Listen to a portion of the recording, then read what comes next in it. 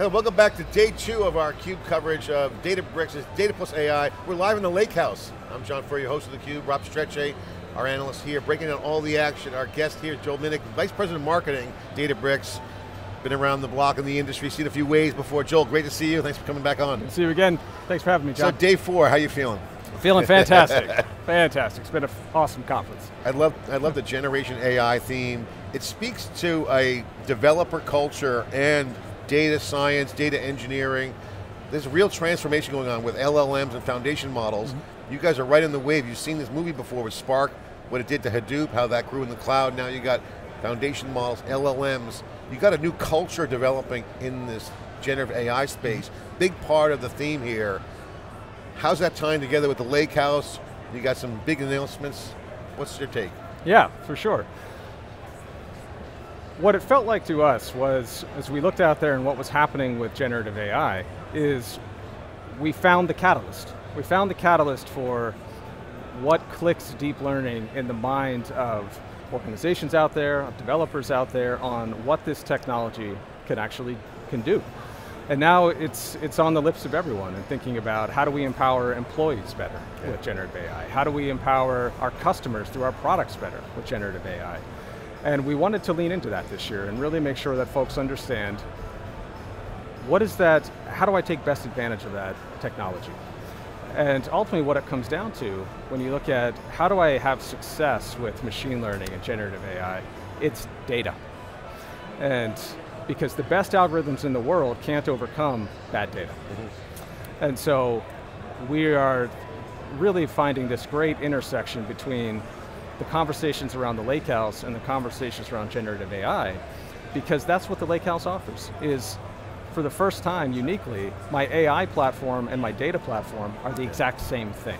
And that gives me such wonderful insight into the provenance, the lineage, the quality of my data, I just can't get it anywhere else. I love how Ali describes the lake house. The lake is the unstructured data, right. the house is the structured. Exactly. You're going to have that kind of world and that's been around for a while, so it's nothing mm -hmm. new. You got 3.0 announced here. Yeah. But the thing that's interesting to me is that the Delta sharing mm -hmm. is a protocol that's now open source and working. You have a marketplace developing where you have mm-hmm. apps, mm -hmm. data apps coming yep. in that have big headroom with generative AI, mm-hmm. so that's clear. Um, and then you got this uniform unification going yeah. on. So, you know, Ali said, forget the format wars, we're going to mm-hmm. unify. That's a huge deal how did that come about? What was the conversation like? You guys like, okay, let's just unify this, let's just do it. What was that decision about unifying the formats? Sure. Well, for us, when it comes back to what has Databricks always been in pursuit of? It's been in pursuit of the democratization of data and AI. When we thought about Delta Lake and the 10 years that it's taken for the Lakehouse to, to mature to the place it is today, it was always about, look, there's all these proprietary data platforms out there, and that restricts what people can do. We should disrupt that. We should find a new way for folks to use data, and that was what was led to Delta Lake, and to knock those silos down. And the wonderful thing about the Lakehouse is how much it's proliferated, but we also found that we got in this, this world where there was beginning to be a format war, where there's the Delta Lake standard for building out lake houses, but there was also Iceberg, and there was also Hudi. And a format war is never good for a customer. Nobody wins. Nobody wins. Nobody wins. And so we looked and said, if we come back to our roots of democratization and unification, what would we do to solve this? Well, we would develop a universal format um, and allow Delta Lake to simply be able to read and write to all Lakehouse foundational systems, uh, regardless of, of what they're built on. Um, and we feel like this is absolutely the right thing to help democratize the evolution of the lake house farther. You know, Rob Strechay and I were talking on the Cube yesterday, and we're kind of, not goofing on the culture of Berkeley, because Ali's there, professor, right. but Berkeley has been the ground zero of a lot of great innovations and standards, mm -hmm. and revolutions, frankly. You know, BSD, you know, Unix got beat by opening up that proprietary system. Right. We saw a lot of systems thinking coming out of Berkeley. Um, but that mindset of like just moving forward, yeah. not arguing, this mm -hmm. idea of standards. Every major inflection point in the history of the computer industry has a moment where people just saying, hey, let's not fight over things, let's organize, let's just agree on something and move forward because right. everybody wins. Exactly. And so, this is happening now with, with one, the format wars is one example. Mm -hmm. I'm expecting there'll be more with generative AI as LLM engineering becomes a practice. That's a big theme coming out of this show is that LLM engineering is Prompt emerging. engineering. Whatever yep. that means. Yep. Like, but the notion of data products mm -hmm. are emerging and Rob and I coined the term data developer. Mm -hmm. We see a future where the developer is going to be coding in line with the CNC pipeline with data mm -hmm. that's going to be provided to them by the lake houses of the world and products. Mm -hmm. This future's emerging and it's right happening right now. How do you guys look at that as a marketer and as a, a business person? You say, okay, we want to nurture it. We don't want to sure. like yeah. foreclose that. How do you look at that, this data developer, this notion of operationalizing mm -hmm. data yeah. at scale? Right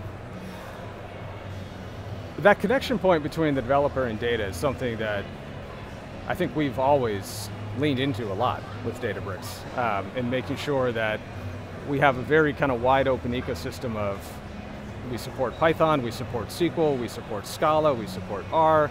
If you want to go work in C++ or Java and you want to do that through VS Code, we intersect directly with VS Code. So being able to make sure that what we're doing is empowering developers to use data because that is what is going to separate the winners from the losers in terms of application development going forward. But one of the other big things then is, well, how do you make somebody able to use data as effectively as possible? And that's what uh, was a lot behind the idea of Lakehouse IQ that we talked about uh, this week.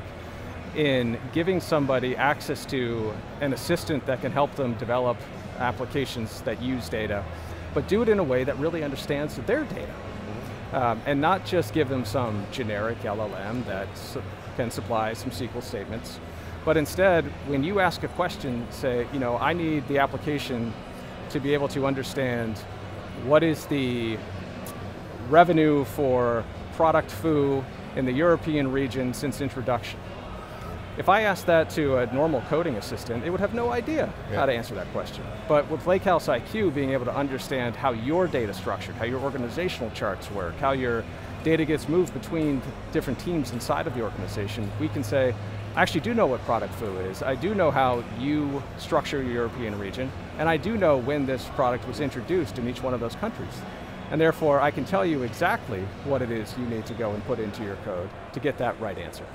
Um, and so it's all about how do we help every developer be 10x more productive than they're able to be today. What are some of the hot things that you guys like around these augmentation um, technologies that helps developers and humans? Mm -hmm. I saw vector database was announced, that's a hot area right sure. now. Mm -hmm. Open source, Milvus and the Linux Foundation, mm -hmm. uh, other, other open source projects are out there.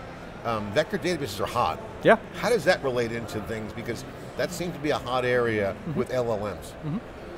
Well, it's something that we wanted to make sure that folks uh, had access to inside of the platform, but most importantly, we're able to take advantage of a lot of the data they already had already built up. So when we talk about vector search inside of Databricks, what we wanted to do was make it very fast and very simple. So what you're able to do is take the data you already have in your Delta tables, and now convert those into vector indexes with just a few lines of code. Um, and so able to get those, those vector those, uh, those embeddings out there ready to be used for your LLMs much, much more efficiently than what you'd be able to do otherwise. So it's a smarter way to keep indexing. Exactly. A nouveau way to yep. index content to make it available. Okay, the next yep. question is, is that, the, I love the platform story, Ali's, I'm a platform guy, we yep. are too, we love the, at yep. theCUBE, we're platform people. We get that. When you look at platforms, the trade-off between best of breed and platform is mm-hmm. interesting because you want to have things native to the platform yeah. to enable value on top of it At the same time, you want choice mm -hmm. for the customer. They might want to use a vector database somewhere else or something else. So as you look at the, the platform story, mm -hmm. how do you think about that? How should customers think about platforms versus having things native versus plug-in third-party mm -hmm. models or whatever? Right. How do you guys talk to customers about that, that yeah. dynamic? Well, that goes back to the roots of why all the fundamental areas of, of Databricks are built on open source, right? the, the data processing built on Apache Spark, the data storage and management built on Delta Lake, the ML workflow built on MLflow. Because when we build the platform that way, we're able to say there are things that Databricks will always offer natively, um, and there will be places where we think we can innovate and provide value, but there's also this vast ecosystem out yeah. there.